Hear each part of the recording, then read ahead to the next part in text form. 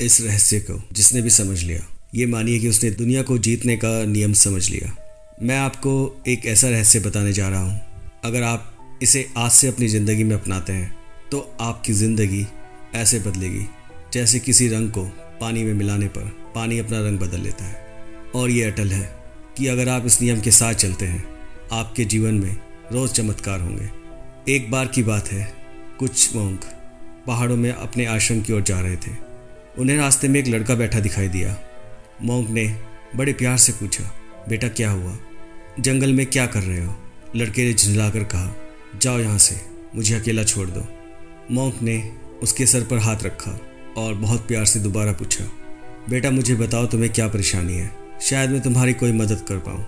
लड़के ने दबी हुई आवाज़ में बोला, कि मेरे साथ कुछ भी अच्छा नहीं होता। जो भी काम करता हूँ, सब बेकार हो जाता है। मेरा कोई साथ नहीं देता है।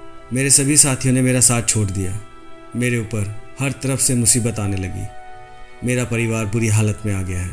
मैंने पता नहीं ऐसा क्या किया है, जो मेरे और मेरे परिवार के साथ ऐसा हो रहा है।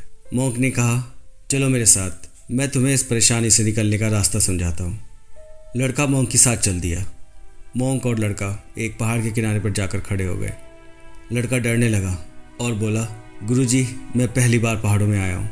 मुझे थोड़ा डर लग रहा है। मोंग बोले डरो नहीं, तुम्हें कुछ नहीं होगा। और लड़के से कहा, अब बताओ कि तुम इस दुनिया के बारे में कैसा महसूस करते हो?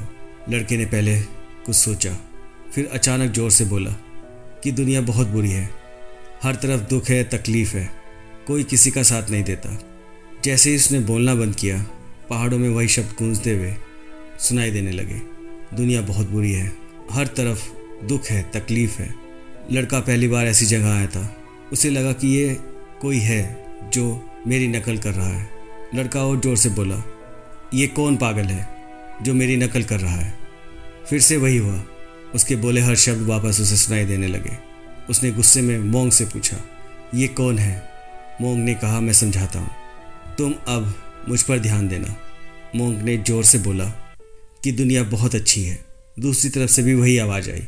मोंग ने दोबारा बोला, दुनिया के लोग बहुत अच्छे हैं। और मैं आपका धन्यवाद करता हूँ। पहाड़ों में यही शब्द गूंजने लगे। लड़का बोला, मैं कुछ समझा नहीं। ये सब क्या चल रहा है? मोंक ने कहा यह प्रकृति की प्रतिध्वनि है और बेटा यही कर्म की नीति है।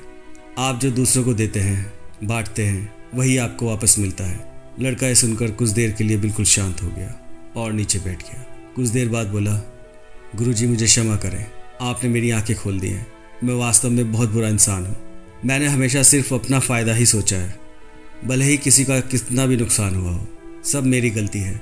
और मैं भगवान को दोष दे रहा था। मैं अपनी किस्मत को दोष देता रहा, जबकि सारे दोष मुझमें हैं।